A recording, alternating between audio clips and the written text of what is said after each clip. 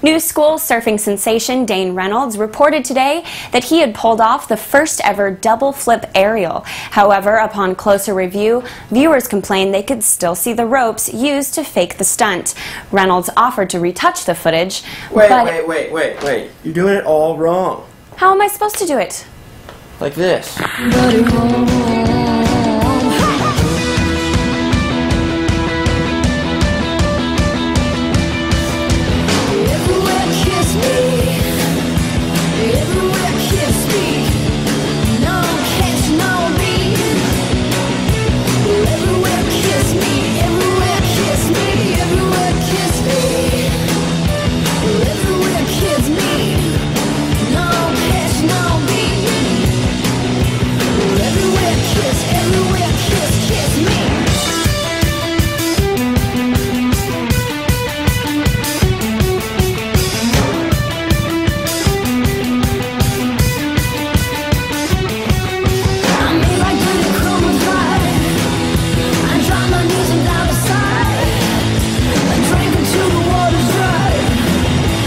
Till someone dies.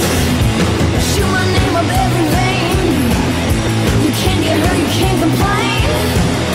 No feet, no hands, no. He's got on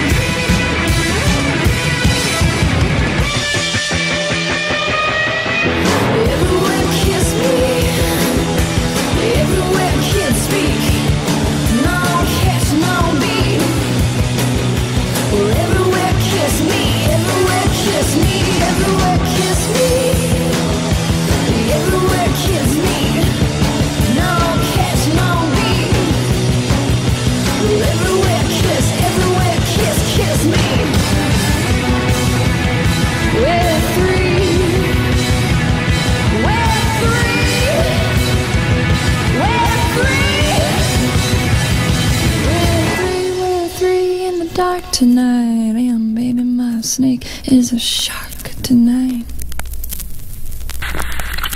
In other news, humanitarian worker Andy Irons saved a baby seal from certain death at the hands of a gang of angry jet skiers.